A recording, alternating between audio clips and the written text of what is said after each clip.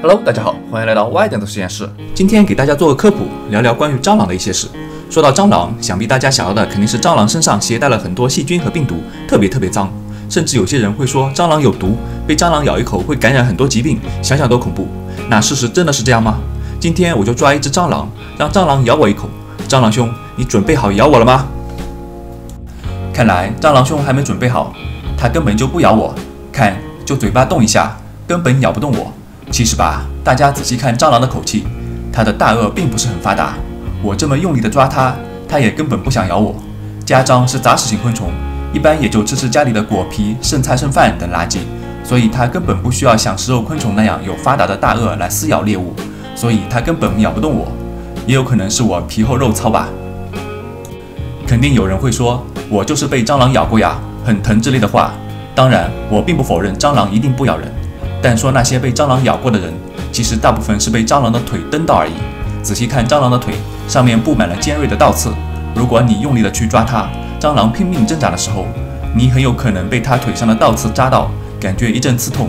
其实并不是被蟑螂咬了，而是被倒刺刺到了。接下来再说说，是不是蟑螂身上就一定很脏？一定有很多细菌和病毒。其实吧，一般情况下，家里的蟑螂身上确实会携带很多细菌和病毒，但这些病菌也不是自己长出来的，而都是来自你家里垃圾时间一长就会长很多病菌，蟑螂爬过的时候就会沾染到身上，甚至吃进肚子里。当然，我现在拿的这只蟑螂几乎没有病菌，因为这是我饲养的，很健康，甚至像贝爷一样直接吃下去都没问题。你信不信？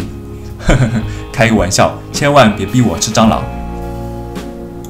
最后说一下，其实世界上的蟑螂有很多很多种，大概有几千种吧。大部分是生活在热带雨林、原始森林等野外环境里。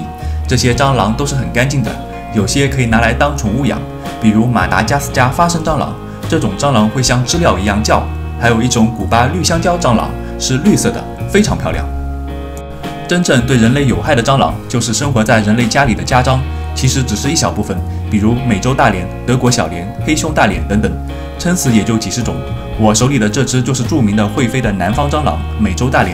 它现在被大量人工饲养，用来制作中药。当然，越狱到家里也会给你带来不小的麻烦。